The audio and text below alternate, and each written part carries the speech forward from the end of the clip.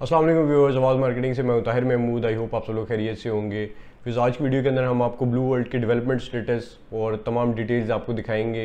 Video start होने से पहले हमारा चैनल ज़रूर सब्सक्राइब कर लें ताकि जितनी भी इस तरह की वीडियोज़ हैं और डेवलपमेंट स्टेटस आप तक पहुँचता रहे।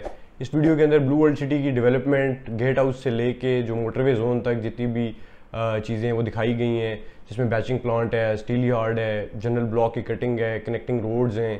जितना भी नेटवर्क है रोड्स का वो दिखाया गया है, इनकी डेवलपमेंट स्टेटस दिखाया गया है और टॉलेस्ट हॉर्स मेस्कट है, उसकी साइड दिखाई गई है, जो फोर्सेस कॉलेज बन रहा है, उसकी साइड दिखाई गई है।